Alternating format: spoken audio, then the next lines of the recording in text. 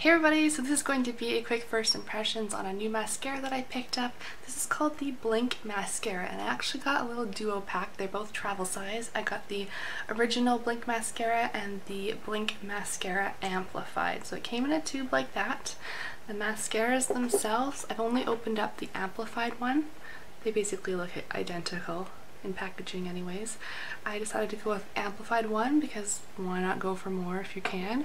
I figure I'd just tell you a little bit about it before you see me applying it. It's a tube forming, tube forming, water resistant mascara that gives buildable uh, glamorous volume with no smudging, flaking, running, or clumping. So that's an interesting claim. It's tube forming. I read that to get it off you just use some water in the the tubes come off. So I'm curious how it comes off. Um, after almost a decade in development, Blinc Mascara Amplified provides incredible buildable volume and length, all while offering their signature life-proof properties of the original Blinc Mascara.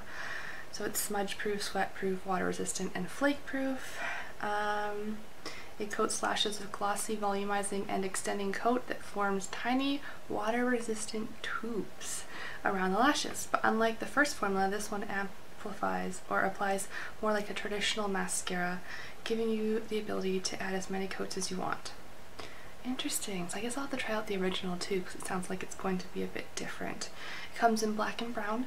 The full size retails for $26. Uh, that's not what it cost me for the travel size. It says it's a $30 value. And I forget what I paid for this. Maybe 15 It's on Sephora.com if you want to try out both. just trying to see if there's any other info on it. Nope, that's pretty much it. So now I'm going to show you myself applying it. Alright, so that's what the wand looks like there. It's a pretty big size bristle brush in comparison to my eye. I'm Just gonna let it focus. There we go. Alright, let's do this.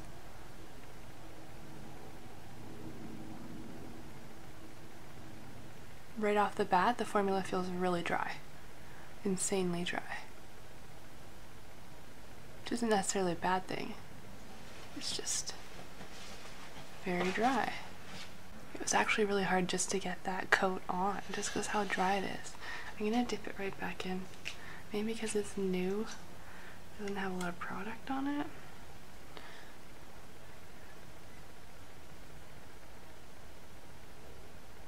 There we go a little bit better.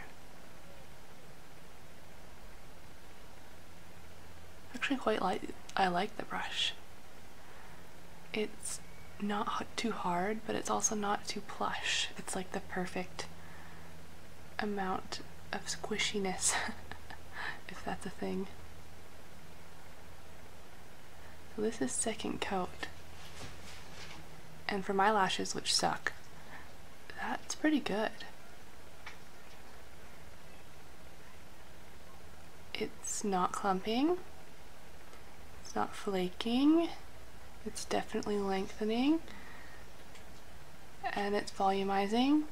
Not crazy though because it's it's not one of those spidery type ones. It's not crazy volume, but it's just enough. And it's not drying too quickly. I can keep going through it. Show you from this side.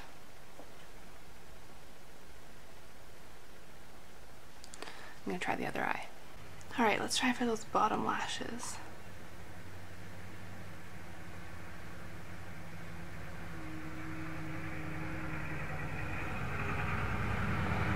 It's actually pretty easy considering how big the wand is. Alright, those are the finished eyelashes. Down. That's actually really good for my eyelashes. So my final thoughts, I like the mascara. I think it did a really good job with my lashes. Um, I'm really interested to see how it comes off at night with the whole tube thing. As far as whether or not I'd buy it, I don't I don't think for somebody who doesn't deal with a lot of smudging or um, running or flaking with regular mascara, I don't think it's worth the investment because it is a pricier mascara. I do think it's going to hold up quite well just given the texture and the way it applied. So I think if you had that issue, it might be something to look at look into. I don't have that issue with smudging typically, so it's not something that I'm going to go out and purchase the full size of, but it definitely did do a nice job of my lashes. So I think that's about it. If you have any questions, let me know, and thank you so much for watching. Bye!